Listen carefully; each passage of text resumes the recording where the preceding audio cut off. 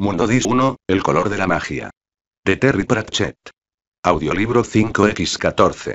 Luego, las hojas arrastradas por el viento y las noches gélidas llevan a un segundo invierno eje, que trae, al, trae albergada en su interior como una joya, otra noche de la vigilia de los cerdos. 47 como el centro, el eje, nunca recibe calor cercano del débil sol, esas tierras están eternamente ocultas bajo el hielo. Por el contrario, la periferia es una zona de islas soleadas y días suaves. Por supuesto, las semanas duran ocho días en el disco, y el espectro lumínico consta de ocho colores. El 8 es un número de gran significado arcano en el disco, y jamás, jamás, debe ser pronunciado por un mago.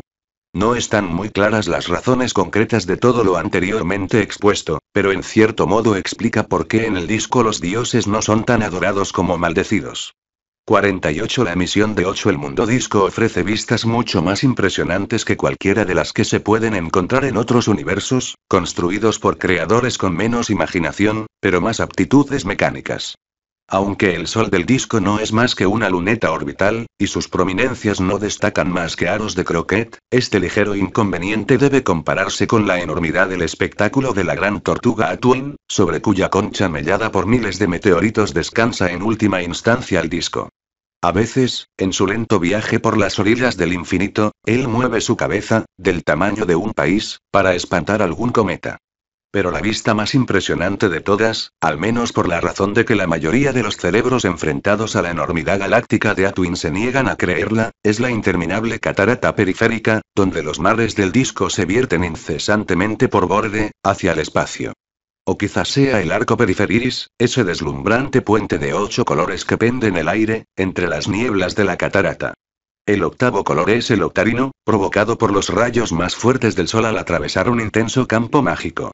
Uh, otra vez quizá, la vista más magnífica sea el eje, una espiral de hielo verde de 15 kilómetros de altura que se alza entre las nubes y soporta en su cima el reino de Dunmanifestin, donde residen los dioses del disco. Estos dioses del disco, pese al esplendor del mundo que se extiende bajo ellos, rara vez están satisfechos. Es bastante embarazoso saber que uno es dios de un mundo que solo existe porque cada curva de improbabilidad debe tener su cenit. Sobre todo, si uno puede echar un vistazo a otras dimensiones, a otros mundos cuyos creadores tenían más aptitudes mecánicas que imaginación. Por tanto, no es de extrañar que los dioses del disco pasen más tiempo discutiendo que enterándose de todo. En este día concreto, Io el ciego, jefe de los dioses a fuerza de vigilar constantemente, estaba sentado, con la barbilla apoyada en una mano y miraba el tablero de juegos sobre la mesa de mármol rojo que tenía delante. Io el ciego se había ganado su nombre porque, donde debería tener las cuencas de los ojos, solo había dos zonas de piel blanca. Sus ojos, que tenía en un número más que respetable, llevaban una vida semi-independiente. En aquel momento, muchos de ellos planeaban sobre el tablero. El tablero de juego era un mapa cuidadosamente tallado del mundo disco, con casillas sobreimpresas. Varias piezas de juego, delicadamente modeladas, ocupaban algunas de las casillas. Por ejemplo, un observador humano habría reconocido en dos de ellas los rasgos de Brady de Comadreja. Otras representaban a más héroes y campeones, de los cuales el disco estaba más que suficientemente abastecido. Los jugadores todavía en juego eran Io, Ofler el dios cocodrilo, Céfiro, dios de las brisas suaves, Sino y la dama. Había una atmósfera de concentración en torno al tablero, ahora que los participantes menores habían quedado fuera del juego. Casualidad fue una de las primeras bajas, cuando metió a su héroe en una casa llena de noyes blindados, resultado de una afortunada tirada de dados de Ofler, y, poco después, Noche cambió por efectivo sus fichas, suplicando una cita con destino. Muchas deidades menores tuvieron que retirarse, y cotillaban ahora por encima de los hombros de los jugadores. Según las apuestas, Dama sería la siguiente en dejar el tablero. Su último campeón de cierta importancia era ahora un montoncito de potasio entre las ruinas todavía 49 humeantes de Angmorpork, y apenas le quedaba ninguna pieza que pudiera promover a primer rango. Y el ciego levantó la caja de dados, un cráneo cuyos diversos orificios habían sido taponados con rubíes, y, con muchos de sus ojos fijos en la dama, sacó tres cincos. Ella sonrió. Tal era la naturaleza de los ojos de dama. Eran de un verde brillante, no tenían iris ni pupila, y resplandecían desde dentro. La habitación quedó en silencio mientras rebuscaba en su caja de piezas y, del mismo fondo, sacó dos que depositó sobre el tablero con sendos chasquidos decididos. El resto de los jugadores, como un solo dios, se inclinaron hacia adelante para examinarlas. Un mago genegado y una especie de oficinista, dijo Ofler el dios cocodrilo, al que sus colmillos impedían pronunciar mejor. Mira que Kogat. Con una garra, empujó un montoncito de fichas color blanco oso hacia el centro del tablero. La dama asintió ligeramente. Tomó el recipiente de los dados y lo sostuvo con la firmeza de una roca. Pero, aún así, todos los dioses pudieron oír los tres cubos saltando en el interior. Luego, los arrojó rebotando sobre el tablero. Un 6. Un 3. Un 5. Pero algo le sucedía al 5. Golpeado por la colisión al azar de varios billones de moléculas, el dado se tambaleó suavemente hacia un lado, rodó con delicadeza, y acabó siendo un 7. Y el ciego recogió el cubo y contó las caras. Vamos, por favor dijo con tono cansado. Juego limpio. El camino de Angmor por Kachirme es empinado, blanco y azotado por los vientos. Treinta leguas de agujeros y rocas medio enterradas. Caracolea alrededor de montañas y se precipita en valles verdes de árboles cítricos, cruza desfiladeros en entretejidos de lianas que quieren parecer puentes y, generalmente, se le considera más pintoresco que útil. Pintoresco.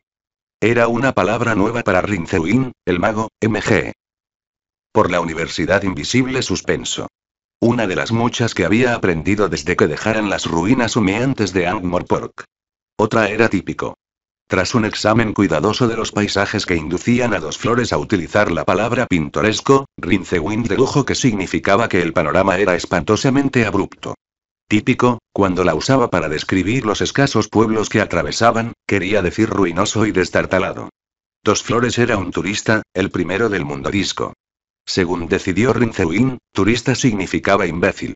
Mientras cabalgaban pausadamente bajo una brisa con olor a tomillo, que les llevaba el zumbido de las abejas, Rinzewin repasó las experiencias de los últimos días. El pequeño extranjero estaba loco, sin duda, pero también era generoso, y mucho menos mortífero que la mitad de la gente con la que solía mezclarse el mago en la ciudad. Rinzewin casi le apreciaba. Odiar a dos flores sería como patear a un cachorrillo.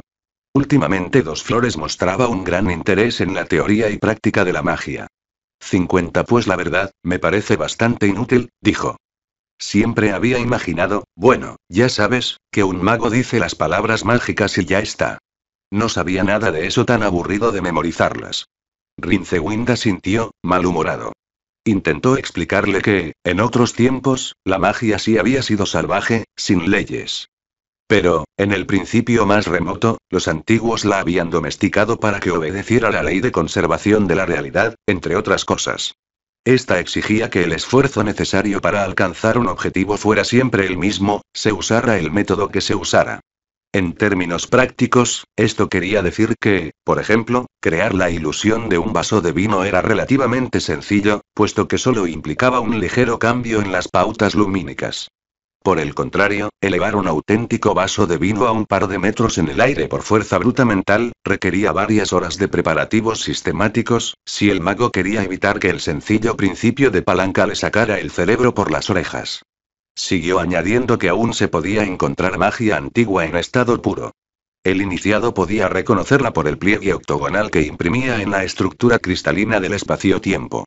Por ejemplo, estaba el metal octierro, y el gas octógeno.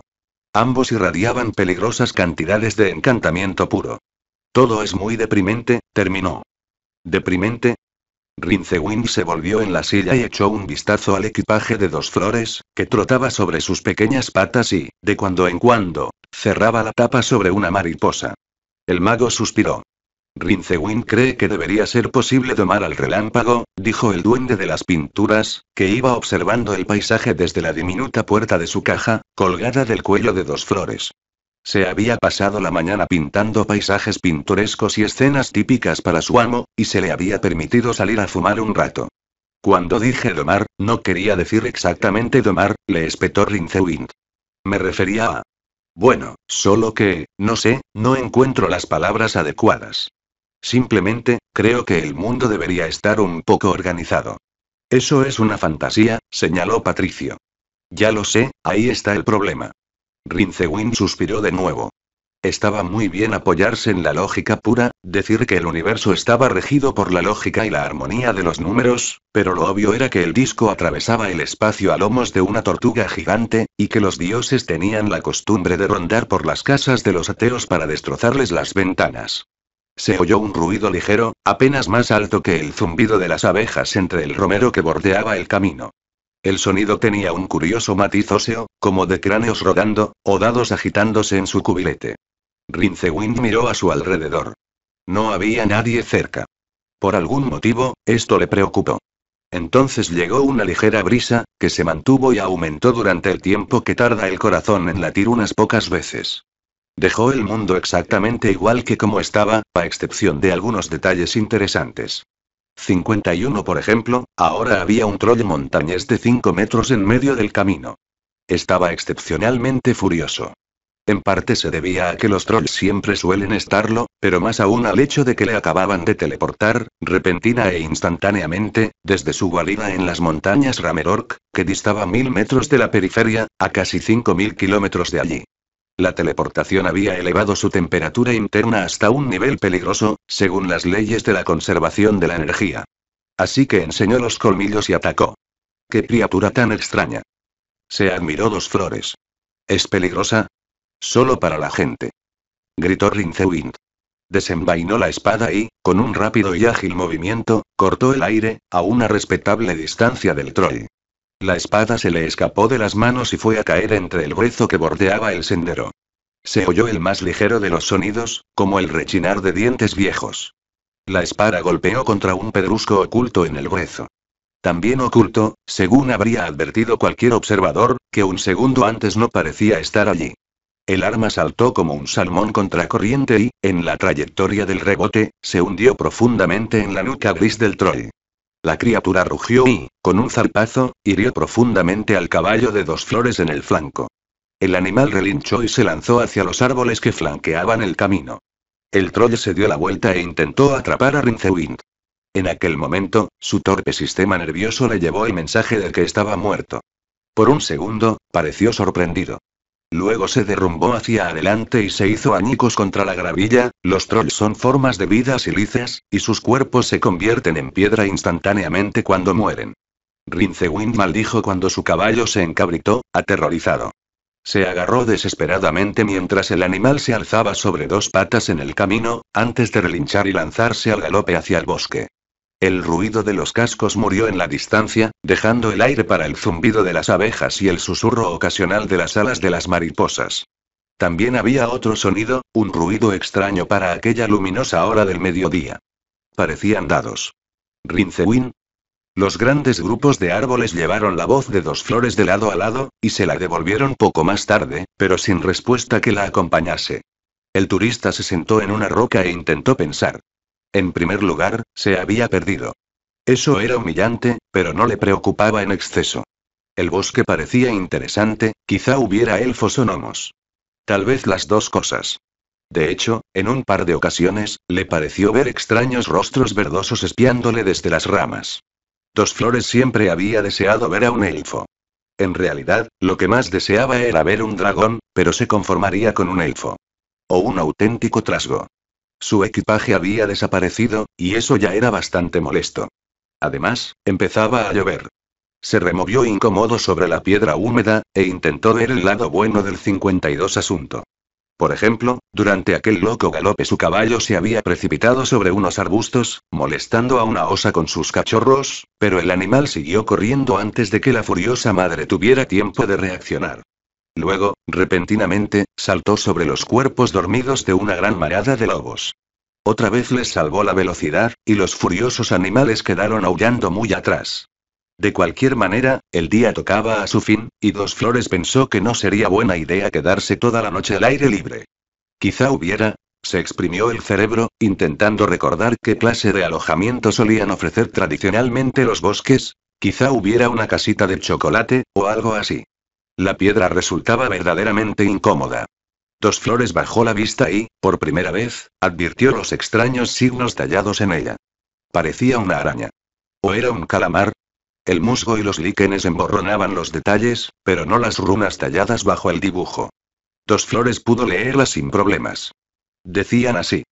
Viajero, el templo hospitalario de Belchamarot está a mil pasos en dirección al eje. Dos Flores se dio cuenta de que aquello era muy extraño. Aunque podía leer el mensaje, las letras le resultaban desconocidas por completo.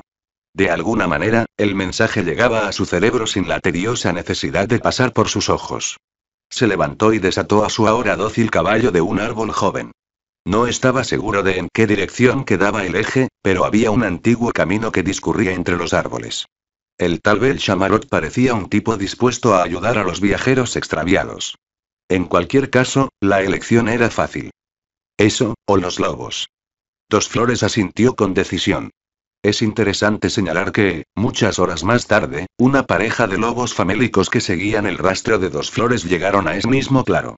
Sus ojos verdosos se posaron sobre las ocho patas de la extraña figura tallada en la roca, que, ciertamente, podía ser una araña, un pulpo, o quizá algo todavía más extraño, y, de inmediato, decidieron que en realidad no tenían tanta hambre.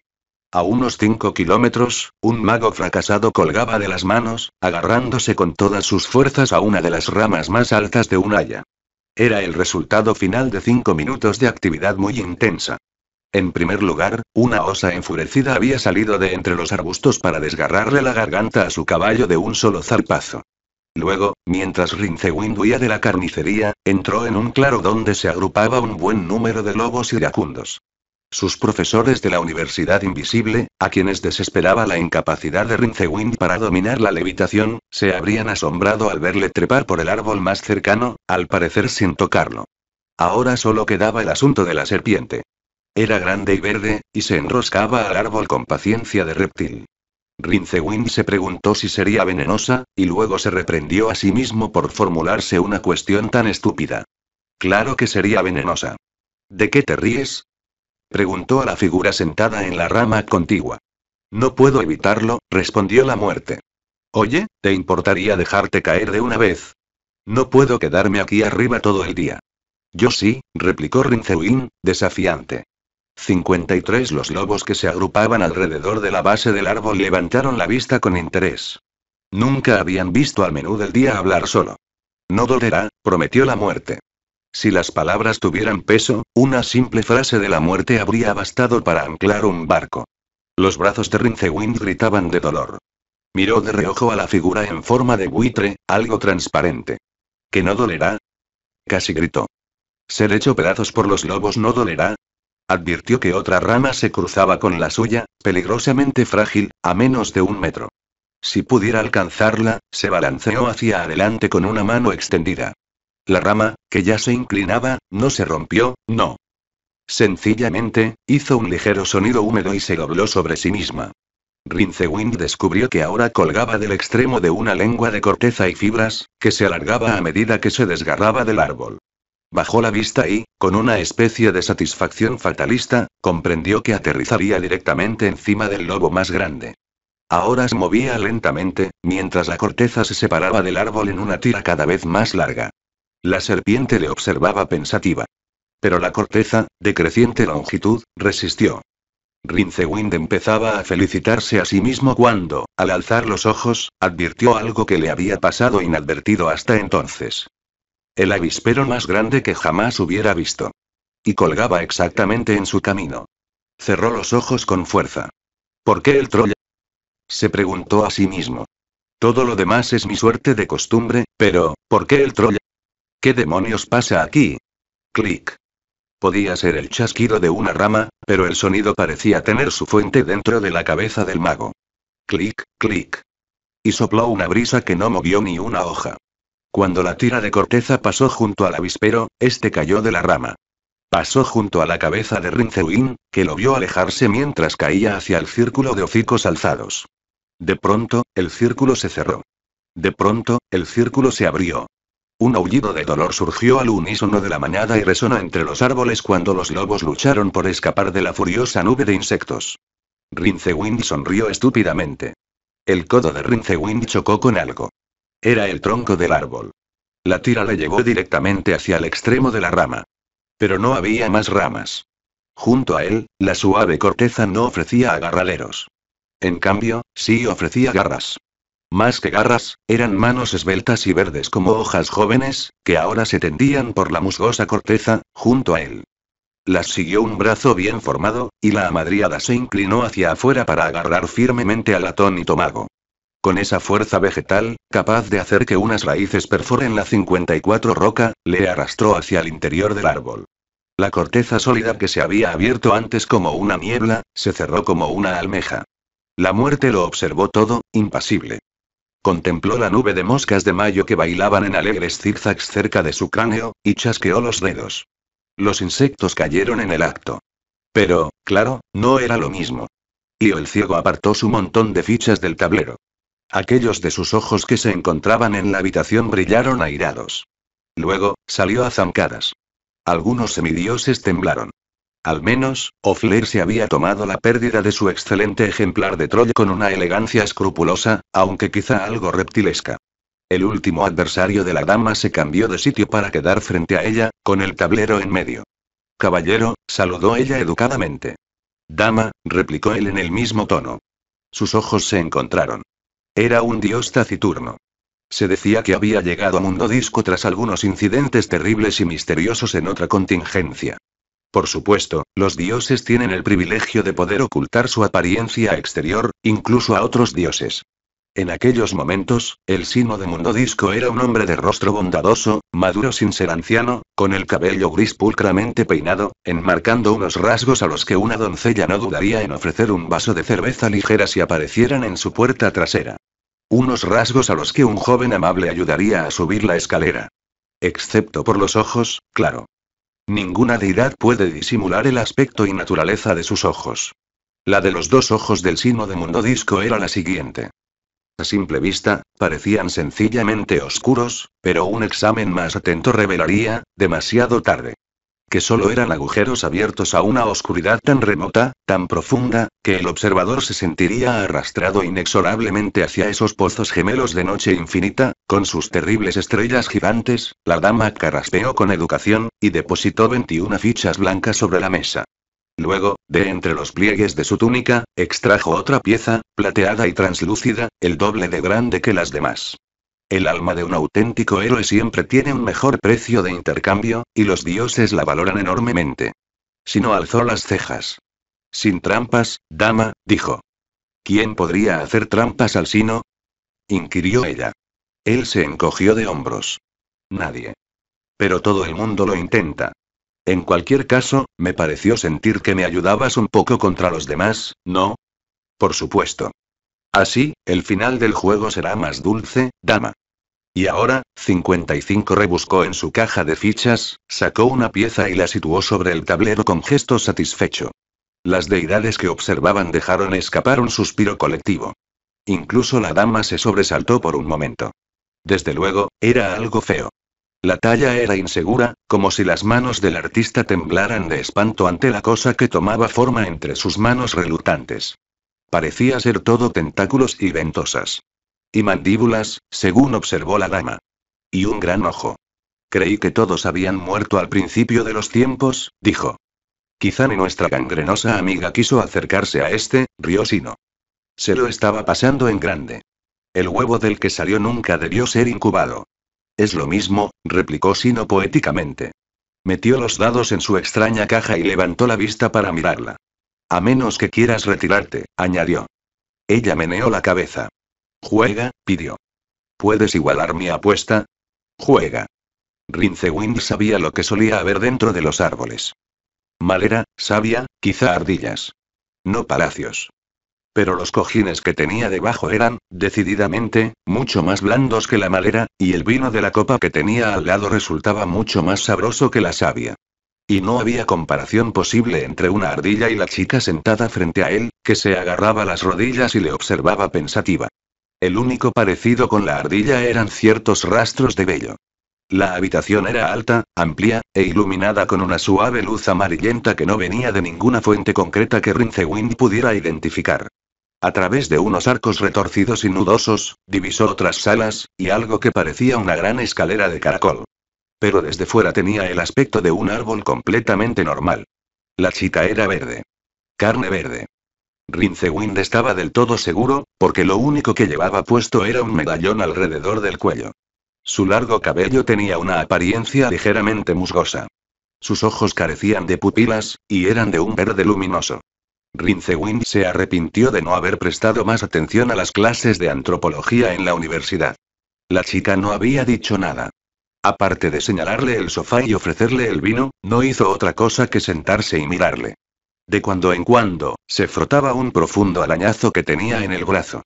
Rincewind recordó a toda velocidad que una dríada está tan identificada con su árbol que sufre sus mismas heridas en simpatía con él, siento eso, dijo rápidamente. Fue un accidente. Es que esos lobos estaban abajo, y griega. 56 Tuviste que encaramarte a mi árbol, y yo te rescaté, terminó con suavidad la dríada. Por suerte para ti. Y quizá también para tu amigo. Amigo. El hombrecillo de la caja mágica, aclaró la dríada. Ah, claro, él. Asintió vagamente Rincewind. Sí. Espero que esté bien. Necesita tu ayuda. Como siempre. ¿También consiguió llegar a un árbol? Consiguió llegar al templo de Belchamarot. Rincewind se atragantó con el vino.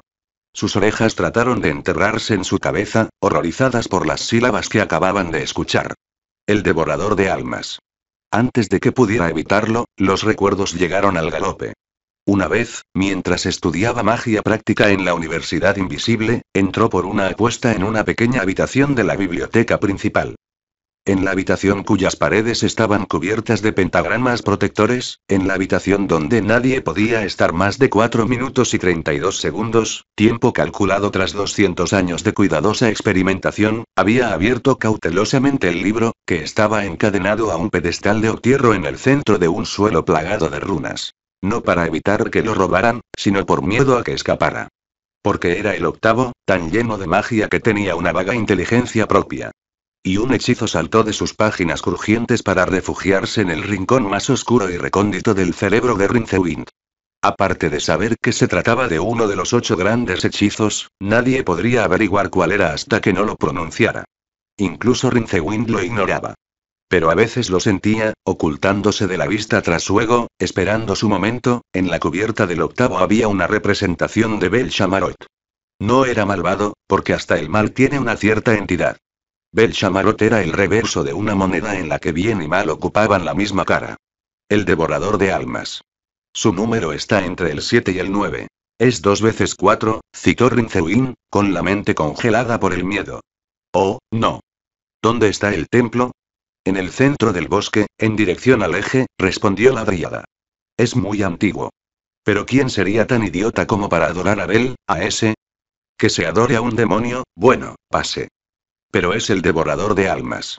Había, ciertas ventajas. Y la raza que solía vivir por esta zona tenía ideas extrañas. ¿Y qué les pasó? He dicho que solían vivir por esta zona. La dríada se levantó y le tendió una mano. Ven. Soy Ruellare. Ven conmigo, veamos el destino de tu amigo. Será interesante. Me parece que no quiero, empezó Rincewind.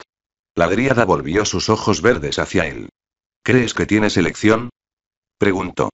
57 Una escalera de caracol era el camino principal del árbol. Grandes habitaciones salían de cada rellano.